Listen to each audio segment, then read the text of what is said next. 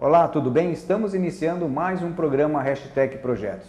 E hoje nós vamos falar sobre o jovem empreendedor, com dois amigos aqui, o Rodrigo e o Fábio, que fazem parte da, da Ciesp, né, que é um grupo de pessoas que trabalham através de representantes da indústria com bastante tarefas e atividades que nós vamos colocar aqui né, que nos, no, na verdade vocês acabam é, falando bastante e fazendo o trabalho em cima do jovem, do jovem empreendedor.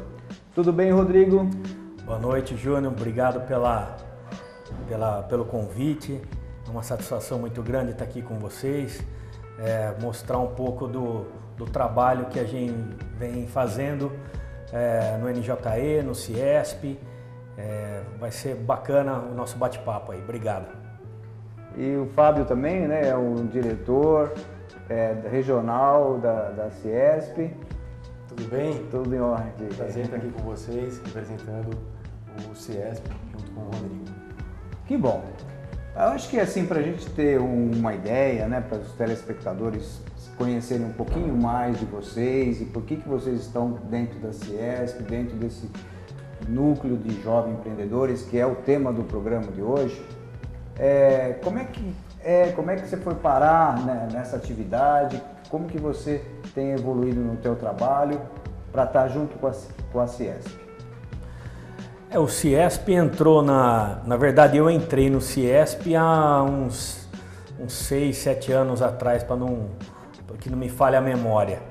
É, foi através de um convite que, do, do Hamilton Chaves, que, a gente, que eu acabei ingressando no NJE é, através também do desenvolvendo trabalho profissional que é a, representa a Fastec, né, a empresa que trabalha com comércio e onde ela como associada eu acabei me, me vinculando diretamente aí ao Ciesp e ao NJE, né, que é o núcleo de jovens empreendedores do Ciesp. Sim.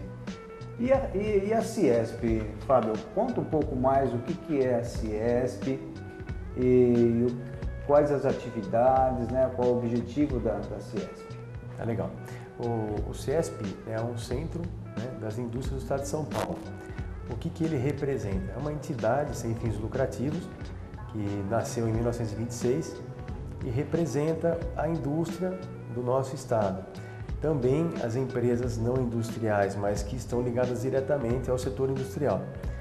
Então hoje são cerca de 8 mil empresas associadas é, ou parceiras do, do, do CIESP, dentro de 42 municípios, com abrangência bem grande, uma atuação muito importante aqui para o nosso estado. E realmente, né, está em 42 cidades é, do, da, da região. Não, na verdade são 42 municípios que a gente chama de diretorias regionais. Então aqui em Jaú, por exemplo, são 11 municípios ligados a Jaú. Ah, ligado a essa, essa diretoria. Perfeito. Bauru, uma outra regional, Rio Preto, né? Então, certo. então cada... o estado de São Paulo foi dividido em 42 Isso. regiões Isso. são 42 diretorias. Perfeito. Perfeito. E aí, é, dentro de várias atividades né, que o CIESP proporciona, nós temos essa atividade que é o núcleo do jovem empreendedor. Perfeito. E esse enfoque que nós queremos dar hoje, que é para esse jovem empreendedor, a gente queria saber um pouco mais sobre esse núcleo, como que surgiu, qual é o objetivo do núcleo do jovem empreendedor e para quem é. é. O núcleo ele, ele foi é, ele foi elaborado a, por, lá atrás no Ciesp é, para que preparasse os filhos dos industriais a se tornarem os sucessores da, das, das, suas empresas familiares. Né? É, só que com o passar do tempo, o, o, o Ciesp se moldou muito, né, o quadro associativo. Então hoje não só a indústria, mas o, tem os associados com comércio, como serviço. É, e nessa, e nessa, nessa mistura né, de, de atividades, o NJI acabou se moldando também. Então hoje o, o NJI, nas regionais que eles estão presentes, É, eles se reúnem mensalmente em São Paulo, que é uma reunião mensal, e, e cada grupo dentro da sua regional desenvolve as suas atividades que a gente vai pontuar aí um pouquinho mais adiante, né? Sei. E, e aí, então, é, além dessas reuniões mensais, é, claro, é, são programadas para vocação, para vocação dessas regionais, né? Como é que surgem essas reuniões? Acredito que tenham palestras. Sim, as atividades, na verdade, do NJE, elas, elas, é, elas são baseadas praticamente no que você pontuou. Então, o NJE, o objetivo, a missão do NJE é aglutinar pessoas, os associados, a comunidade, pessoas que é, se sentem confortáveis no trabalho voluntário e que se engajam e se sensibilizam com a, o empreendedorismo. Né? Então, nós estimulamos o empreendedorismo dentro do NJE, dentro do CIESP, através das nossas atividades. Quais são elas? É, o Cine Debate, que é onde nós abordamos um, um, tema específico de algum filme. Esse filme ele sempre é o âmbito um pouco mais comercial, essa abordagem. E aí vai ter um mediador para poder é, provocar os, os, os telespectadores ali presentes a a pontuar o, o empreendedorismo, né, a resiliência, a vários tópicos que envolve o filme. Então temos o Cine Debate, os Rap Business que você já, já teve presente lá, no, a, a, representantes da tua empresa também sempre estão presentes, que é uma forma da gente estimular é, as pessoas a, a trocarem cartões, a promover o network, né, aumentarem sua rede de contatos. Nós fazemos visitas técnicas, já fizemos visita técnica na, na, na Itabom, Itapuí, na Embraer, em Botucatu, né? buscando sempre é, aprimorar nova, as nossas competências. Né? É, temos também o nosso congresso de empreendedorismo que é realizado todo ano, aonde o Fábio, que hoje é vice-diretor acabou conhecendo o NJE, né, Fábio? Verdade, em Santos, verdade. Em Santos, e o, o congresso ele é fantástico, porque reúne palestrantes do mais alto, do mais alto nível, né, de, de, abordando diversos temas. E esses temas ajudam as, os, os participantes a colocarem seus projetos em prática, a, a formatarem os seus negócios como as ferramentas que esses palestrantes acabam promovendo. Né? Então são nesse contexto geral as atividades. Nós temos também que nós promovemos aí a um, uh, promovemos a Semana do Jovem Empreendedor também, né? Que ela é a Semana do Jovem Empreendedor, ela é comemorada ou promovida na segunda semana do mês de março. E também o NJE a nível, estadual, a nível estadual, ele está vinculado ao CONAGE, que é o Conselho Nacional de Jovens, a nível Brasil e também apoia a Semana Global do Empreendedorismo, que é promovida pela Endeavor, que é sempre na, no mês de novembro. Eu gostaria de pontuar mais é, uma coisa importante que a gente participou como NJE, apesar de ser uma iniciativa da Fiesp com o CJE, né, que é o pessoal da Fiesp, é, nós participamos do Acelere Startup. São edições promovidas no no interior que depois tem uma final em São Paulo, vamos dizer assim. Então, empresas de, de, de, que estão surgindo, startups, elas é, mostram um projeto para investidores, para empresas que estão dispostas a investir naquilo. É uma espécie de um, um campeonato, uma disputa, quem é o melhor também, e tem uma premiação. O ano passado, algumas empresas acabaram tendo oportunidade, tudo custeado pela Fiesp, de conhecer o pessoal lá do Vale do Silício. Então eles passaram uma temporada lá, não sei precisamente, acho que um mês, com o, o, o pessoal do Vale do Silício aprendendo as técnicas lá com quem sabe realmente fazer essa essa, essa Califórnia. É na Califórnia, isso mesmo, isso mesmo.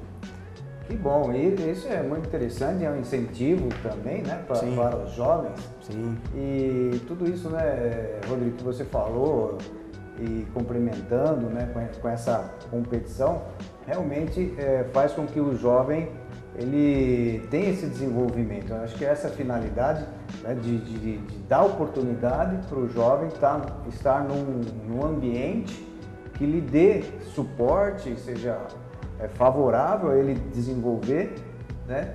Com tudo isso que você falou, é interessante, né? Eu acho que essa parte do network, que é o contato, né? esse, esse é, happy hour né? de empresários, onde se toma né?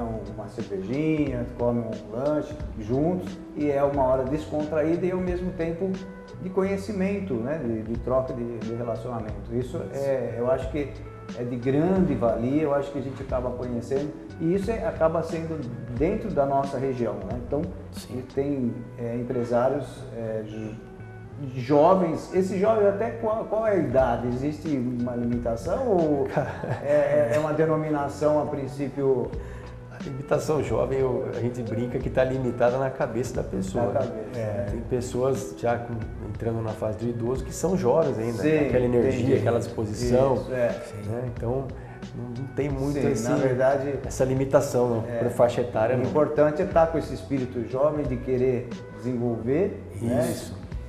E isso a gente percebe muito nessas reuniões que existe mesmo esse relacionamento e a troca de informações. Hoje em dia é muito falado né, no compartilhamento da, das informações, né, que isso faz o desenvolvimento de todos, porque hoje nós cada vez mais no mundo globalizado, nós precisamos, não adianta a gente estar sozinho desenvolvendo, que não vai para frente. Não vai. Nós precisamos estar com toda a nossa comunidade desenvolvendo, porque ali nós temos eh, os nossos clientes que vão estar nos comprando, né, os nossos produtos precisam também estar enriquecendo. Sim. E vale, vale lembrar, Júnior, que é bem bacana, nós é, tem uma atividade do Ciesp que chama Encontro Itinerante, que nós já realizamos no município de Dois Córregos. Uma parceria lá com o secretário de Desenvolvimento na época, o Leandro Mangili. Nós realizamos lá no, no Hotel Santa Paula, né? Antigo Hotel Santa Paula. E nós mesclamos em dois córregos. E nós mesclamos ah, o formato do, do, do encontro itinerante que a pessoa tem um minuto para ir falar dos produtos e dos serviços que a empresa dela é, promove né, ou oferece.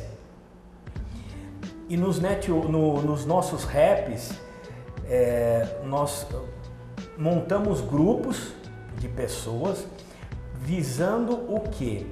Aquela pessoa que está tentando se engajar no mercado, aquela, aquele menino que saiu da escola, está com um projeto embaixo do braço e precisa oferecer, mas ele não, entrou, ele não sabe a, a o, o, treje, o, o, o, jeito comercial de como lidar com isso. Perfeito. Então o que, que nós fazemos? Montamos grupos, damos oportunidade para que cada um é, possa entregar o seu cartão. É, sempre tem um, um, uma peça âncora ali do NJI que dá o início a essa rodada. Para quê? Para nós provocarmos esse network. Porque nós, com vigésimo, nós estamos indo para o vigésimo terceiro Happy Business, se eu não me engano, e, e, nós vimos que muitas pessoas tinham dificuldade em entregar o teu cartão pela timidez e a gente criou esse mecanismo para que as pessoas vençam a timidez. Porque na hora que ela sai para o mercado, que ela precisa prospectar negócios para ela, para a tua empresa, ela vai ter que dar cara pro mundão aí. O mundão aí lá fora é cruel, né, meu? Ele não, não passa a mão na cabeça de ninguém, não, né? É, você falou muito bem, porque o que acontece muitas vezes, a pessoa ela, às vezes tem uma grande ideia, ele é inovador, que é uma coisa que o empreendedor precisa dizer, mas ele não é um, ainda um gestor, ele não é a pessoa que enxerga aquilo, é, que tenha, vamos dizer, na natureza dele o marketing, de, de saber como que está o mercado, se o mercado precisa daquilo que ele, que ele conhece, o que ele possa apresentar Sim. como produto, né? porque muitas vezes tem mesmo o técnico, né? que é aquele cara que é um gênio, ele faz a coisa, só que ele não sabe vender. Tem a dificuldade de mostrar, de, de perceber que o mercado precisa daquele produto. E nesses treinamentos que vocês fazem, é muito disso também, né? Porque vocês unem a, a, o conhecimento que ele já tem com a, a possibilidade dele aprender a, a, divulgar, a se mostrar, a se expor. Né? E isso é, a gente sabe que acontece muito né? negócios lá dentro. Né? É uma oportunidade reuniões. de negócio, exatamente. exatamente. É, e, o, e, os encontros eles são para isso mesmo. Né? Ah, quando, quando a gente formata lá, lá nos, nos bastidores os nossos raps, os nossos, as nossas reuniões, é a, a veia, né, o princípio de tudo isso também é o network, é gerar oportunidade de negócio é, dentro do grupo, né, fazer com que cada um se, se, se estenda a mão ali para que todo mundo se ajude, né? É, vale, vale lembrar, tem vários formatos de, de, de é, de grupos de negócio, como Fora da Caixa, que você tá, trouxe para Jaú, tem o BNI, que era um grupo também muito bacana, que eu tive a oportunidade de conhecer em Bauru. E esses grupos realmente eles são focados em ajuda mútua, um oferecer ajuda para o outro e gerar oportunidade de negócio para quem está lá dentro com facilidade para oferecer seus produtos e serviços, como também aqueles que têm dificuldade acabam tendo oportunidade também, né?